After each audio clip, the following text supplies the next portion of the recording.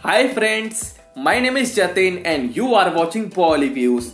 Lifetime worldwide box office collection of Bollywood film हथियार आपको बता दें कि ये वीडियो आप लोगों में से ही किन्हीं दो लोगों की रिक्वेस्ट पर है जिनके नाम है जुगनू और आफक तो चलिए शुरू करते हैं तो हथियार को बॉक्स ऑफ़िस पर 18 अक्टूबर 2002 को रिलीज़ किया गया था इस फ़िल्म को महेश मंजरेकर ने डायरेक्ट किया था। इसमें संजय दत्त, शिल्पा शेट्टी लीड रोल में नज़र आए थे। फ़िल्म का बजट सेवन करोड़ रुपीस का था। अब आते हैं बॉक्स ऑफ़िस कलेक्शन पर।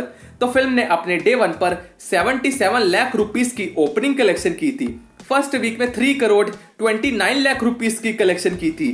फ़िल्म का इंडिया में जो लाइफ टाइम नेट कलेक्शन था 5 करोड़ 34 लाख रुपीस का रहा था। Gross collection 8 crore 65 lakh rupees का रहा था।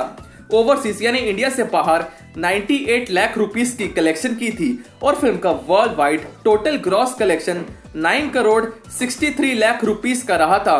अब रही बात वर्डिक्ट यानी हिट और फ्लॉप की तो आपको बता दें कि हथियार बॉक्स ऑफ़िस पर फ्लॉप साबित हुई थी। तो चलिए दोस्तों, इसी के साथ इस वीडियो में फ़िलहाल इतना ही।